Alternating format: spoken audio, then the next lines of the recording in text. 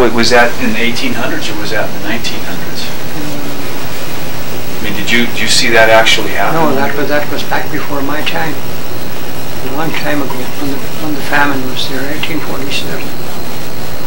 So mom always said that the, they'd had a good Irish name, but they lost it and they didn't take the soup. So you think that there was something to that? Well, uh, uh, from then on, they called them people the supers. And the supers, they, were, they, they, were- they with the English ones there in the colony, like, you know, they're in a village by themselves. They didn't have much use, uh, other Irish didn't have much use for the supers. I see. But geez, there was, the, the people were, they were dying of starvation. Yeah. So did some families have their name changed when they refused to take the soup? I, I couldn't tell you that. Oh, Okay. Well, can we start with uh, uh, about your family? You know, your John. Now, who's your mother and father? Well, my father was John Peter Harrington. And my mother was Kate Harrington. She was Crispy Kate. She went by Catherine here in Butte. They called her Catherine. When did they come to Butte? Then they came out to Mercur City, Utah is where they came out to. The City, Utah was a gold camp down in Tooele County. And they came out there before the turn of the century. In 1898, my, my mother was out there first because she had uh, uncles there. Uh, she had an uncle there and, and, and three brothers. What was their family name? They, they were Harringtons, but he, he, he went by the old, he went by the old name, Which was S- what? Sullivan, but he was a Hurricane. You know. My grandmother was Kate Hurricane. They never called her Kate Hurd. They, they, they, on account of, she raised the family, the, her, her husband died, you know, my grandfather, and so they, they named all the kids after the, the grandmother, they called them the Caters. The what? The Caters, for the, for Kate, you know. Oh, I So see. they, they, that name followed them, you know. And then your father's name was Harrington. Your grandfather's name was Harrington too. They were Harringtons from both sides, yeah. I see. Now, one was, uh, my mother's people were in Niskawadry and Trisk, and my father's people were in Niskanine and Green Trisk. Now, was this your mother and father or your grandfather? That was my mother and father. Okay. My, my great grandmother in Niskanine was Margaret Sheehan. Okay. Now, these were towns in Ireland.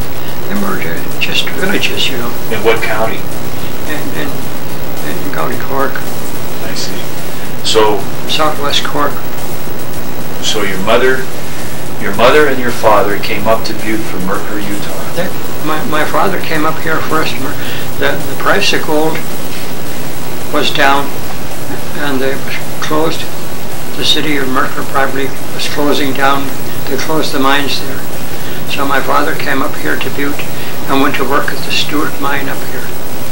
And then the train, they were notified that the train had quit coming into Mercur uh, on January the 1st, 1912. So my mother packed up and got us kids all ready, me and my four sisters, and took us on the train up to Salt Lake, and we changed there and came up on the Oregon Short Line.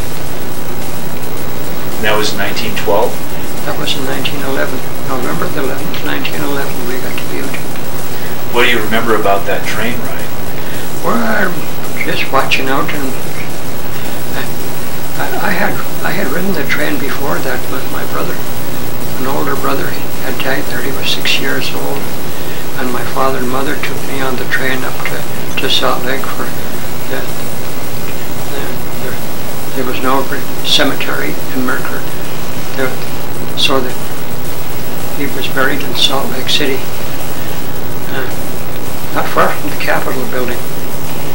To the right-hand side there, a couple of blocks. So you were born in Mercur? I was born in Mercur. All my family was born in Mercur. How many brothers and sisters did you have, There were six of us altogether. including the one that passed away? Yeah. Now, my younger sister Becky, she died when about a year ago. One or two years ago, yeah. She was down in Kansas City, Missouri. What were the other brothers and sisters' names? Uh, Teresa was down in Kansas City, and she, was married twice. Her, her second husband was Joe McCann. And Teresa's up in Holyoke, Colorado and now. She's her daughter lives there, and Teresa's got her home there. And my my oldest sister is out at, at Whitehall right now. She's with her daughter out there. That's uh, Catherine Seckham. And So that's four of you. Now, who are the other two? The one that passed away, what was his name? uh, that was Jim passed away. Jim and Becky died. And Sister Mary's right here in Butte. She's a, uh, Sister of Charity Leavenworth. Leavenworth. What did Jim and uh, his, what did Jim and your sister pass away from? What did they die from? Oh, the, uh, the doctor that time said he had spinal meningitis. But I, re- I really think he had polio. They didn't know anything about polio in them days. Was there a doctor in Mercur at Yeah, there was doctors there. The doc, that's what the doctor said there. Oh, I see.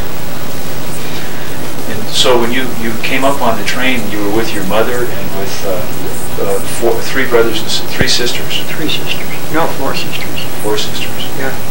And so, uh, how long did it take you to get up here on the train? It took us not too long from, we, we, we left Mercur in the morning and, and, and we were up here about eight o'clock in the evening, come up on the, the Oregon Short Line, you know, it's a, a branch of the Southern Pacific. And where was the train station in Butte? Uh, it was at the NP Depot, the Northern Pacific Depot. And when we got in here, it was in November, it was cold, you know, and you know, my mother hired a hack. We didn't have no automobiles. Uh, And you had the Jarvie sitting out up in the top of the front, and he had lanterns on both sides, you know, there. And when you come up Main Street, you were coming up with over cobblestones all the ways up. You know, there was no such a thing as blacktop on the streets in them days. Uh, so you can see the alleys here are all red bricks around town here. Was there a streetcar going up the street too? Do you remember There were streetcars going on up, uptown and this, on the going out. They went out to the flat to different places to the to the Columbia Gardens and, uh, and out to Lake Avoca. That's the, the country club now. And the streetcar went up to Waterville. The streetcar went up to Centerville. So when, that first night when you came to town, where did you go in the in the hack? Well, we had the address where my my father was living, 729 North Main Street. It was right in the on the corner where you turn into to Corktown there. And we got up there, and the house was in darkness. And there was little kids playing on the street there, and one of them come, comes over and he says, "Oh, they had a, a, a, a bit of a fight there last night." He says, "and they closed the place up, but they got relatives right over here." So my mother said, "Will you show us where the relatives are?" So the little kid got in and, and, and took us, and we went over to uh, to the relatives' place. That was Patty Goggin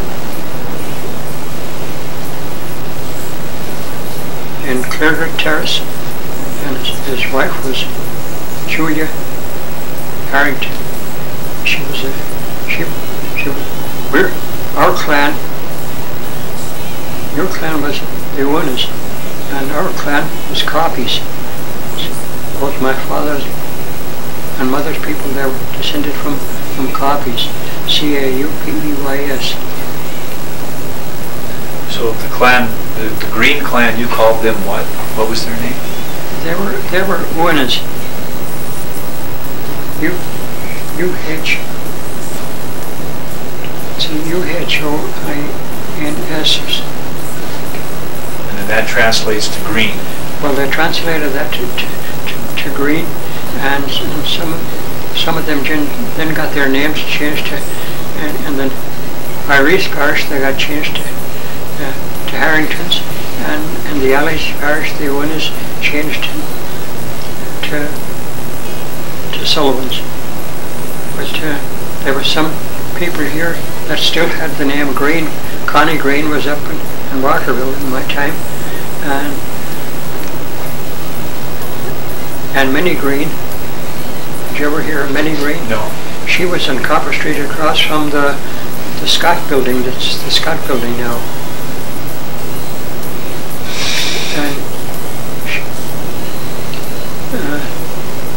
Place was full of widows from the mines in them days, you know, the, the, the miners that work four or five years in the mine and get the miners' consumption, So the, the board, silicosis. the boarding house was full of widows? Uh, Or the town? The, the town was full of widows.